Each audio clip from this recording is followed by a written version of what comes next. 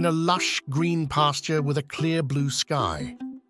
Fluffy, a playful lamb with a white woolly coat, grazes peacefully. Nearby, Patch, a curious calf with brown spots, nibbles on some grass. Hi, Patch. How's the grazing today? Not bad, Fluffy. Hey, I found this amazing patch of clovers. Want some?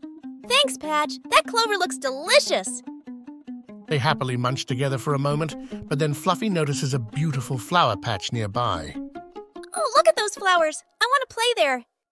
They do look pretty. Let's go.